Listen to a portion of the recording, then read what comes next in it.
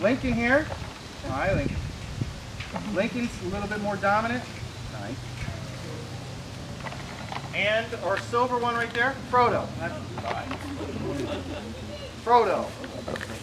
Frodo's the big silver one. Him and Lincoln really go at it sometimes.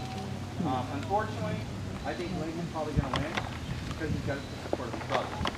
So every time Frodo tries to be more dominant on Lincoln, Levi, Lucas, and Lenape jump in.